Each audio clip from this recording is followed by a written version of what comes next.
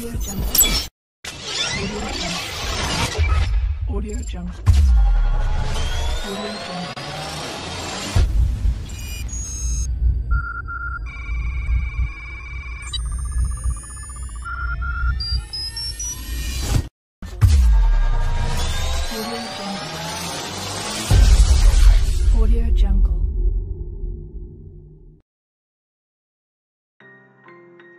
Halo rekan hebat, bertemu lagi dalam seri penelitian kualitatif pajak.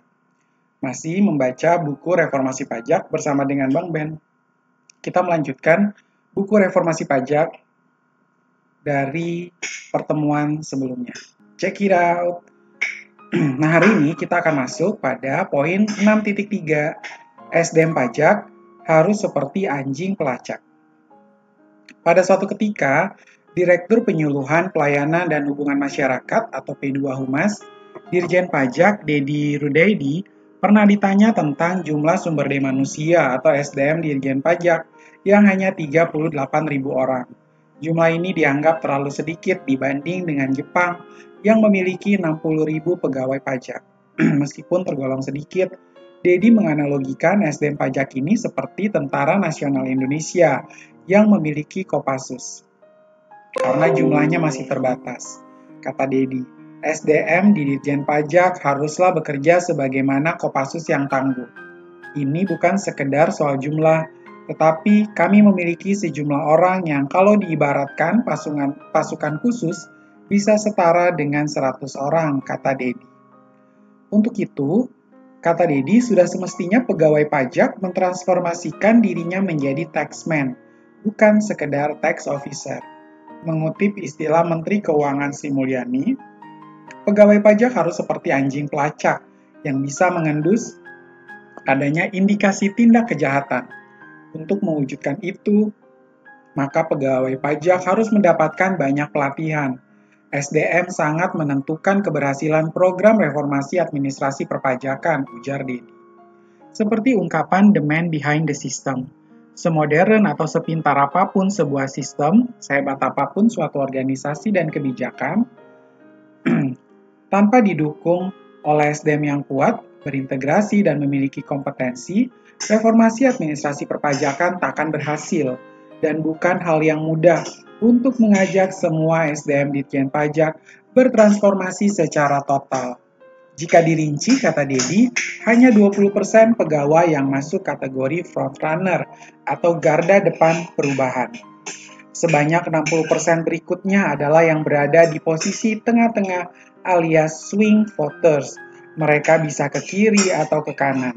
Untuk yang 20% lagi diperlukan usaha lebih keras untuk mentransformasikan mereka. Modernisasi dan transformasi SDM dilakukan dengan menerapkan praktek-praktek manajemen yang fair and proper. Awalnya tidak mudah menyusun sistem penilaian yang adil dan fair, tapi seiring perjalanan waktu, Dirjen Pajak terus mengusahakan perbaikan dan penyempurnaan sistem penilaian, sehingga kemudian tercipta lingkungan kerja yang mendukung persaingan positif antar pegawai, motivasi kerja membaik, dan produktivitas meningkat. Langkah pertama yang dilakukan adalah dengan melakukan asesmen untuk memetakan SDM. Mulanya metode ini sempat mendapat penentangan dari sejumlah pejabat eselon 2 yang mempermasalahkan manfaat dan tujuan asesmen tersebut. Padahal tujuan asesmen ini adalah untuk memprofiling pegawai pajak. Berdasarkan hasil asesmen tersebut, Dirjen Pajak kemudian menerapkan manajemen berbasis kinerja atau performance management and job qualification.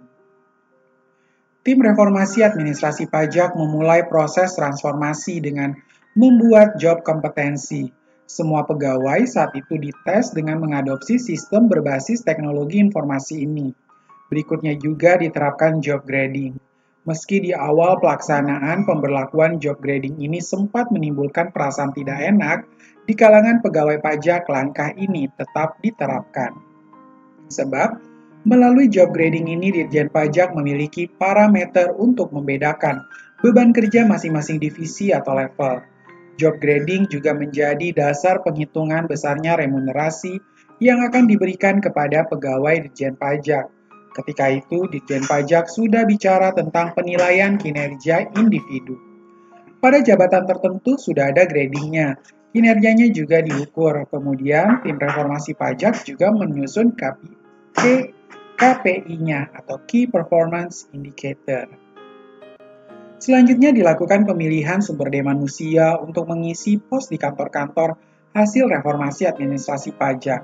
Proses seleksi melibatkan tim dari Universitas Indonesia agar bisa mendapatkan SDM yang benar-benar berkompeten. Rekrutmen ini ditawarkan kepada pegawai. Pegawai yang bersedia mengikuti seleksi dijanjikan akan mendapatkan gaji tiga kali lipat. Tapi ada syaratnya, di kantor baru mereka tidak boleh korupsi.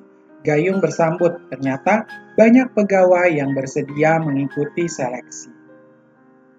Robert Pakpahan di dalam buku Di Balik Reformasi Pajak mengaku salut dengan antusiasme pegawai pajak yang mendaftarkan diri untuk mengikuti proses seleksi. Padahal awalnya Robert dan tim pesimistis semua pegawai pajak akan ikut seleksi dengan semangat mengubah image kantor Ditjen Pajak menjadi lebih bersih.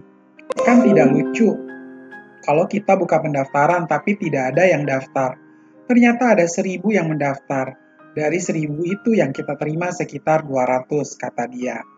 Semangat pegawai Dijen Pajak inilah yang menjadi penentu kesuksesan proses reformasi perpajakan.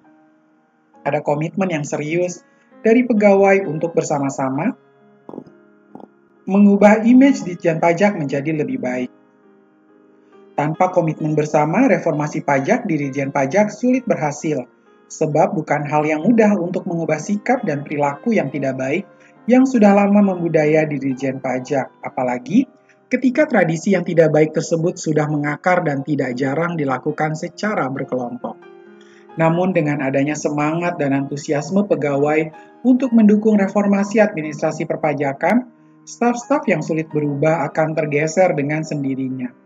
Mereka yang sulit atau tidak mau bertransformasi pada akhirnya harus mengikuti perubahan. Dijen Pajak ketika itu sudah memiliki kode etik pegawai. Namun penerapannya belum maksimal dan masih sebatas peraturan di atas kertas.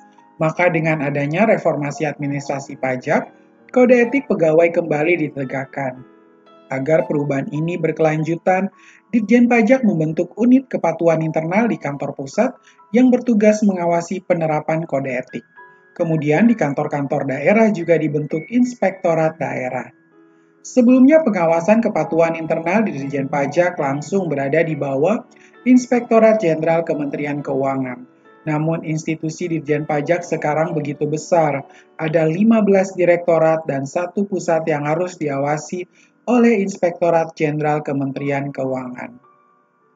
Dirjen, Itjen Kementerian Keuangan juga harus mengawasi Dirjen yang lain, sehingga kemudian diusulkan ke Kementerian Pendayagunaan aparatur negara agar Ditjen Pajak memiliki unit kepatuhan internal sendiri. Tujuannya agar pengawasan kode etik berjalan lebih efisien untuk mendorong terwujudnya profesionalisme dan integritas pegawai. Usulan tersebut disetujui Kementerian Pendayagunaan Aparatur Negara dan Ditjen Pajak pun akhirnya memiliki unit kepatuhan internal. Setelah disetujui tim reformasi administrasi pajak, kemudian membuat konsep yang bersifat preventif dan reaktif. Dari dua konsep tersebut, konsep preventif lebih banyak ditonjolkan, yakni sosialisasi kode etik kepada seluruh pegawai Ditjen Pajak. Bukan berarti reaktifnya tidak ada, tapi kita berangkat dari tindakan preventif, kata Luki. Sebagai kompensasinya, ada penyesuaian gaji dan tunjangan. Di LTO, misalnya, ada tunjangan kegiatan tambahan atau TKB, tunjangan kegiatan tambahan. Tujuannya agar jangan sampai orang itu mati kelaparan karena tidak mendapatkan apa-apa lantaran harus jujur dan mematuhi kode etik di Jen Pajak, kata Luki. Meminjam istilah yang sering dilontarkan oleh Komisi Pemberantasan Korupsi, bahwa korupsi itu bukan hanya karena ketamakan, corruption by greed, tapi juga tak jarang karena kebutuhan, corruption by need, sehingga kemudian penyesuaian gaji dan tunjangan harus dilakukan. Namun langkah itu dibarengi dengan penerapan kode etik yang ketat. Diharapkan kalau kebutuhan hidup minimalnya sudah dipenuhi, pegawai pajak tidak punya alasan lagi untuk korupsi dan kolusi. lahirnya LTO. Salah satu implementasi dari struktur organisasi yang baru adalah pembentukan dua kantor pelayanan pajak besar atau Large Tax Office atau LTO dan satu kantor pelayanan pajak khusus pada 2002. LTO dibentuk di kantor wilayah untuk mengorganize dan memodernisasi administrasi pajak. Tujuannya adalah agar pelayanan terhadap pembayar pajak seperti instansi pemerintah dan perusahaan-perusahaan besar juga para konglomerat dijadikan satu kantor yang disebut dengan LTO. Kantor pelayanan pajak besar LTO ini antara lain mengurus beberapa pajak perusahaan besar seperti PT PLN Persero, Pertamina Persero, sejumlah perusahaan dengan penanaman modal asing dan perusahaan multinasional seperti PT Freeport. Tujuan para WP besar yang memiliki operasi sangat kompleks itu ditempatkan dalam satu large tax office adalah agar lebih mudah dalam mengorganisasikan administrasi perpajakannya, mulai dari pelaporan sampai pembayarannya. Sebelumnya, perusahaan tersebut dan anak-anak perusahaan atau cabang-cabangnya membayar PPH dan PPN sendiri-sendiri. Kantor LTO yang berlokasi di kawasan Sudirman ini diisi dengan orang-orang baru yang direkrut khusus dengan fasilitas yang serba baru. Kantor ini mengurus sekitar 300 wajib pajak besar, Kelompok wajib pajak ini jumlahnya memang tidak banyak, tapi pembayaran pajaknya sangat besar. Dari semula dua, kini Dirjen Pajak memiliki 4 KPP wajib pajak besar yang dibagi-bagi berdasarkan kelompok bisnis. Berbarengan dengan peresmian LTO, Flash Tax Office, dibuka juga kantor wilayah pajak khusus yang menangani perusahaan penanaman modal asing. Kantor dibuka untuk mempermudah pelayanan kepada perusahaan PMA sekaligus untuk meningkatkan level investment confidence. Kantor wilayah pajak khusus memanfaatkan sebagian SDM yang ada dan menggunakan gedung dan sistem existing, sehingga SDM yang saat itu ditempatkan di Kanwil Ditjen Pajak khusus dituntut untuk lebih kreatif ketimbang yang di LTO yang serba baru. Saat itu, Kepala Kantor Wilayah Khusus mendapatkan mandat untuk mulai melakukan modernisasi administrasi pajak di lingkungan kantornya. Salah satunya adalah Amri Zaman yang pada September 2003 ditarik dari Balikpapan ke kantor wilayah khusus Jakarta. Ada empat kantor pelayanan pajak khusus penanaman modal asing. Satu KPP Badaro, Badora, Badan dan Orang Asing, dan satu KKP PMB, perusahaan masuk bursa yang harus dimodernisasi dalam jangka pendek. Keenam kantor itu kemudian dikembangkan menjadi 10 kantor, yakni KPP BUMN, 6 KPP PMA, 2 KPP Badora, dan 1 KPP PMB. Perusahaan masuk bursa.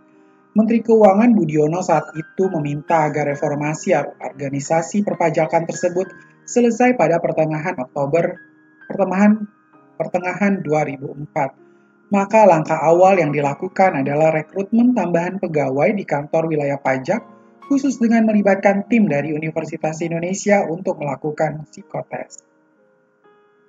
Rekrutmen SDM juga dilakukan dengan metode pemantauan terhadap orang-orang terbaik untuk mendapatkan promosi. Harapannya dengan begitu karir dan hak remunerasi mereka diperhatikan, sehingga ke depan mereka ini bisa menjadi agent of change untuk pegawai pajak lainnya. Sementara untuk posisi kepala seksi yang bertugas membantu dalam persiapan SDM, pengembangan sistem teknologi informasi dan kehumasan dipilih dari internal. Masalahnya, SDM yang akan dipindahkan ke kanwil khusus terbentur aturan bahwa seorang pelaksana tidak bisa berpindah-pindah kantor wilayah. Untuk mengakali peraturan tersebut, pegawai yang akan direkrut diikutkan dalam pendidikan programmer. Beruntung, empat orang yang menjadi target menempati posisi empat besar. Mereka lalu dipindahkan ke BDP sebagai programmer. Dua bulan kemudian, setelah melewati serangkaian lobby, mereka bergabung dengan tim kecil reformasi perpajakan di Kanwil Pajak Khusus. Teknik lobby juga diterapkan pada saat pemilihan kepala seksi dan kepala kantor yang akan membantu reformasi administrasi perpajakan di Kanwil khusus. Beruntungnya, nama-nama kepala seksi yang diusulkan oleh Amri Zaman tidak diotak-atik oleh Dirjen Pajak. Jadi baik dari kasih maupun kepala kantor yang bikin saya surprise itu tidak diutak-atik. Apa pun usul saya dikabulkan. Mungkin karena waktunya pendek barangkali, kata Amri. Perekrutan SDM selain untuk mengisi pos-pos yang ada di LTO dan Kanwil Pajak Khusus, juga melakukan campaign karakter building melalui edukasi menggunakan media video, kemudian materi skrip video berisi tentang bagaimana melayani, bagaimana menegakkan integritas melalui kode etik, dan bagaimana penegakan hukum. Video digarap di sebuah studio di Tebet, Jakarta Selatan. Setelah jadi, Video campaign disebarkan di seluruh KPP di Kanwil khusus tahun itu. Dan pada 2006, video disebarkan ke seluruh Indonesia. Dibentuk juga seksi hubungan masyarakat, modernisasi Kanwil Pajak khusus yang dipimpin oleh Widi Widayani. Salah satu tugasnya adalah untuk menyelesaikan sejumlah persoalan di Kanwil khusus terkait dengan peraturan. Sebab saat itu banyak WP yang ingin mendapatkan jawaban atas pertanyaan-pertanyaan mengenai peraturan perpajakan. Untuk memudahkan masyarakat dalam mendapat informasi secara tepat, maka dibuatlah fitur tanya jawab di website Kanwil Ditjen Pajak khusus ini. Dibuka juga layanan call center untuk melayani pertanyaan WP melalui sambungan telepon. Namun, tantangannya pada saat itu adalah layanan secara online, belum dianggap umum oleh masyarakat, kemudian dibuat juga alternatif layanan lainnya menggunakan berbagai macam saluran atau channel yang ada, Selain website dan call center, dibuat juga layanan melalui email, SMS, download, and live chat. Inilah kemudian menjadi cikal bakal dari berbagai sosialisasi yang diterapkan di media sosial seperti saat ini. Pada waktu itu, suasananya seperti membasuh suasana kebatinan WP yang terluka lama. Kemudian kita harus melayani dengan berbagai cara dan diharapkan bisa meningkatkan penerimaan pajak, kata Ahmad Rudi Hartono, yang pada saat periode reformasi administrasi perpajakan pada 2002 membantu di bidang dukungan teknis atau IT di Kanwil khusus Ditjen Pajak. Setelah LTO terbentuk, berikutnya dibentuk Kantor Pelayanan Pajak Madya dan Kantor Pelayanan Pajak Pratama. Kantor Pelayanan Madya tidak melayani perusahaan besar dan konglomerat, tapi menangani WP kelas menengah. Sementara, Kantor Pelayanan Pajak Pratama untuk WP biasa termasuk UMKM. Di KBP Pratama jumlah WP bisa berjumlah jutaan tapi nilai kewajiban pajaknya kecil, namun mereka tetap harus dilayani dengan baik, kata Rudi. Pegawai pajak bukan orang Mars.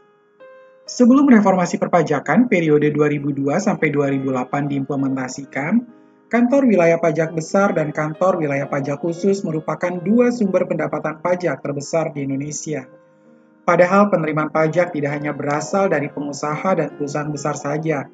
Banyak sumber penerimaan pajak dari perorangan yang memiliki pendapatan di atas pendapatan tidak kena pajak atau PTKP. Karena itu, reformasi perpajakan harus dilakukan untuk menggarap seluruh potensi pajak agar penerimaan negara naik. Tantangannya adalah pegawai pajak harus bisa meyakinkan masyarakat tentang kewajiban pajak mereka Sebab pada saat itu masyarakat bahkan yang memiliki latar belakang pendidikan tinggi belum memiliki kesadaran untuk mendaftarkan kekayaan dan melaporkan kewajiban pajak mereka. Pegawai swasta atau PNS yang gajinya sudah dipotong pajak menganggap mereka tidak perlu lagi mengurus nomor pokok wajib pajak dan surat-surat perpajakan lainnya. Selain itu, pemahaman masyarakat mengenai kepatuhan membayar pajak juga masih sangat jauh. Bahkan orang yang memiliki pendidikan tinggi pun kadang-kadang tidak tahu cara menghitung pajak yang simpel. Namun masyarakat tidak bisa sepenuhnya disalahkan, ada juga andil dari pegawai pajak. Setiap kali melakukan sosialisasi ke masyarakat, aparat pajak sering kali menggunakan bahasa yang sulit dipahami. Menkeu Sri Mulyani mengibaratkan pegawai pajak pada saat melakukan sosialisasi seperti makhluk di Mars aparat pajak menggunakan bahasa yang hanya dimengerti oleh mereka sendiri. Kita makhluk di bumi tidak tahu apa yang dia omongkan. Saya sering melihat teman-teman pajak asik sendiri, kata Sri Mulyani. Karena itu, metode komunikasi saat sosialisasi pegawai pajak perlu diubah menggunakan bahasa yang membumi dan mudah dipahami, bahkan oleh masyarakat awam sekalipun. Pengetahuan dasar tentang pentingnya pajak bagi sebuah negara yang selama ini luput dari materi sosialisasi perlu dijelaskan lagi kepada masyarakat bahwa pajak itu identik dengan negara. Di dunia ini tidak ada negara yang eksis tanpa pajak. Sehingga Jika masyarakat ingin Indonesia eksis sebagai sebuah negara, maka pajaknya harus dijaga. Pajak juga identik dengan demokrasi dan akuntabilitas. Setelah Ditjen Pajak menarik pajak dari masyarakat, maka masyarakat berhak tahu penggunaan uang yang sudah mereka bayarkan. Jadi, fondasi dasar dalam bernegara adalah peranan pajak di dalamnya dan sebagai konsekuensi dari kontrak sosial ini adalah Ditjen Pajak dan seluruh jajarannya harus menjaga akuntabilitas, transparansi, dan tata kelola. Pemahaman ini penting agar tak ada lagi anggapan bahwa membayar pajak itu seperti membayar upeti saat penjajahan Belanda. Pembenahan sistem TI Sri Mulyani masih mengingat betul pertama kali memiliki NPWP adalah saat awal-awal bekerja di Universitas Indonesia. Saat itu karena dia indekos bersama sang kakak di Kampung Rawa, Jakarta Pusat, maka dia melaporkan pajaknya ke kantor pajak Cempaka Putih. Setelah menikah, Sri Mulyani kemudian pindah ke daerah Bintaro, Jakarta Selatan. Saat itulah terjadi masalah perpajakan. Sri Mulyani tidak bisa melapor kewajiban pajaknya di kantor pajak di daerah Bintaro. Dia harus tetap melaporkan pajaknya ke kantor pajak Cempaka Putih. Padahal sebelum menetap di Bintaro, dia sudah beberapa kali pindah. Sehingga Sri Mulyani saat itu ketika seseorang wajib pajak datang ke kantor pajak, maka data dia hanya akan ada di kantor tersebut. Sehingga saat ada kepentingan terkait pajak, WP harus mendatangi kantor pajak awal saat melapor. Meski dia sudah berpindah tempat tinggal berkali-kali ketika itu, informasi wajib pajak belum terintegrasi di kantor pusat. Pada saat itu ada 350-an kantor pajak dari KPP WP besar hingga KPP Pratama yang datanya tidak saling terkoneksi. Sri Mulyani percaya bahwa banyak WP yang memiliki pengalaman serupa. Itu sebabnya reformasi organisasi perpajakan harus didukung sistem teknologi informasi yang andal, Sistem TI penting agar setiap WP, kecil atau besar, memiliki data yang terintegrasi. Data yang tidak terintegrasi hanya akan memunculkan banyak persoalan dalam tata kelola. Selain tidak transparan, perlakuan terhadap WP bisa berbeda antara satu kantor dengan kantor yang lain. Pada 2002, Kantor Wilayah Pajak Khusus dan KPP LTO Large Tax Office mulai menggunakan sistem informasi sendiri yang dinamakan Sistem Administrasi Pajak Terpadu atau SAPT. Sistem ini merupakan pembaharuan dari Sistem Informasi Perpajakan.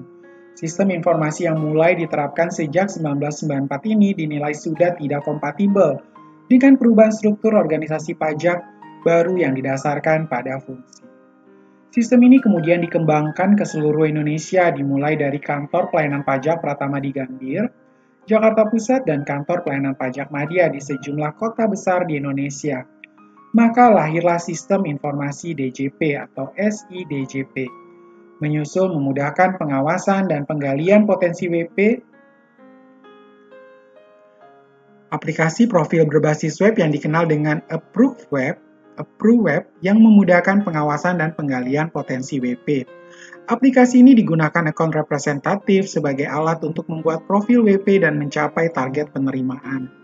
Aplikasi Approve Web ini terus mengalami pengembangan dari versi 1, versi 2, dan versi 3, dan seterusnya sampai sekarang masuk ke Big Data dengan nama Smart Web. Penerapan sistem ini dibarengi dengan perbaikan pelayanan. Semangatnya adalah untuk memudahkan WP, misalnya dulu untuk mencari formulir pajak di kantor pajak agak susah. Padahal formulir tersebut bisa dengan mudah didapat dan gratis. Saat berada di kantor pajak, WP sering kebingungan. Mereka ingin konsultasi tetapi tidak tahu harus ketemu dengan siapa. Maka dalam reformasi administrasi pajak, tim kemudian merekrut petugas khusus sebagai konsultan bagi wajib pajak. Namun sistem ini diperkirakan hanya mampu menangani 1 atau 2 juta WP. Jika jumlah kepatuhan WP meningkat jauh di angka tersebut, Ditjen Pajak akan menghadapi kendala terbatasnya sumber daya manusia. Maka diperlukan satu arsip data dari WP ketika data WP terdokumentasi dengan baik, maka akan sangat membantu sebagai data pembanding. Begitu juga untuk pelayanan terhadap WP, petugas akan kewalahan saat banyak WP yang mendatangi kantor, kantor pajak. Secara kebetulan di awal-awal reformasi administrasi pajak, mulai booming penggunaan internet. pengguna telepon genggam juga mulai meningkat jumlahnya. Maka, tim reformasi pun memaksimalkan penggunaan teknologi. Sejumlah terobosan baru diciptakan, misalnya dibentuk call center untuk memudahkan wajib pajak yang ingin konsultasi masalah perpajakan. Dalam perkembangannya, call center ini terus diperbaharui dengan peralatan yang lebih canggih mengikuti perkembangan teknologi. Selanjutnya, secara perlahan penggunaan IT juga dimaksimalkan untuk pelayanan dan proses bisnis. Misalnya surat-surat sudah dilakukan melalui sistem secara cash management bukan lagi manual. Kemudian juga mulai dikenalkan adanya ISPT dan e-filing, yakni aplikasi pelaporan pajak perorangan maupun badan secara elektronik atau online. Di awal reformasi perpajakan, pemerintah sempat akan membangun sistem IT yang dikenal dengan PINTAR atau Project for Indonesian Tax Administration Reform. Ini adalah proyek yang ditawarkan oleh World Bank, meski saat itu sistem pembenahan IT di Ditjen Pajak masih berjalan. Proyek tersebut tetap diambil, Bank Dunia mengirimkan satu tenaga ahli untuk memberikan asistensi kepada tim IT Dirjen Pajak. Mereka juga memberikan asistensi terkait metode pengadaan, Dana juga disiapkan, bahkan pengadaannya pun juga melalui mekanisme World Bank. Namun proyek ini tidak berlanjut, ada beberapa penyebab tidak berlanjutnya proyek pintar ini.